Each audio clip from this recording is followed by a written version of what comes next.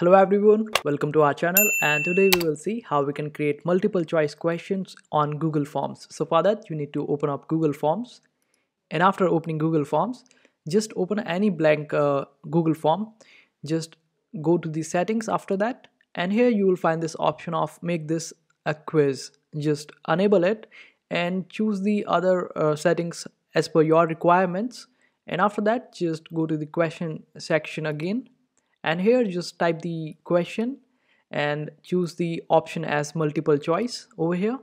And type the options one by one. And if you want to add another question just click on this plus icon on the right hand right hand side. Just that just after that you will see this new question will arrive. Just type your question. Make sure that it is on multiple choice. Just type the first option then click on add other. And after that add option to this. You will be able to add four options or maybe more as per your requirements. And after that you can also set the answer key to different options and also you can reward different number of points for giving the correct answer. Suppose you want to reward three points for one correct answer.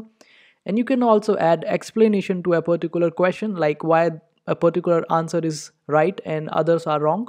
And after that click on done and this way you can create multiple choice questions on Google Form. I hope this video was helpful. Make sure to hit that like button and also subscribe to our channel for more helpful videos.